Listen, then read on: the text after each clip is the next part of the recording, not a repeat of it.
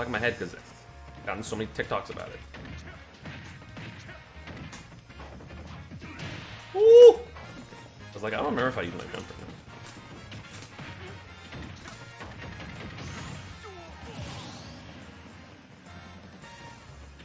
or. Okay, this might be a little horseshit.